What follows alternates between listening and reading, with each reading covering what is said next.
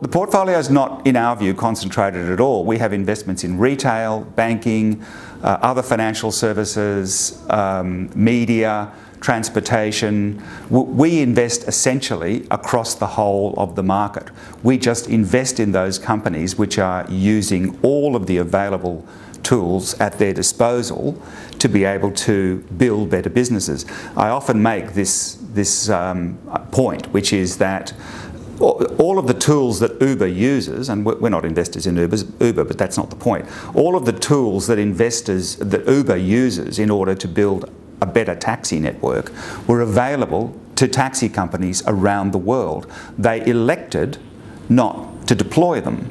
And in the process of not electing to deploy them, they left consumers waiting for taxis, not knowing where the taxi was, when it was arriving, and all those things that Uber gives you.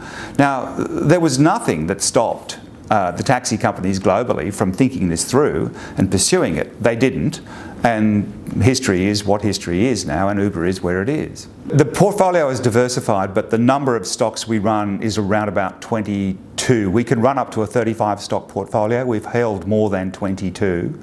Uh, at inception, uh, the, the, simple proposition is that we would have 16 stocks at 5% at 10 and 10 at 2 to make up 100%. And then from that we may have slightly more or slightly less stocks.